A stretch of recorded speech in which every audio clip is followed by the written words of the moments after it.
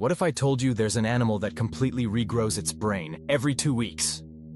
Sounds like science fiction, right? It's totally real, and it lives right in your fish tank. Meet the planarian flatworm. This squishy little creature has a superpower no other animal on Earth can match.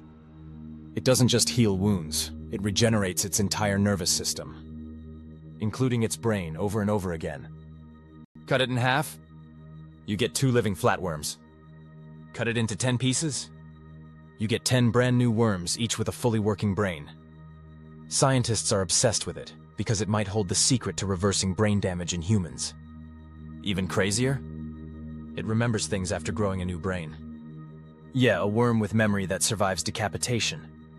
Mind blown. So next time someone calls you forgetful, just say, hey, at least I didn't regrow my brain this week. Tag a friend who needs to know about this brain regrowing beast and hit like if your brain just melted.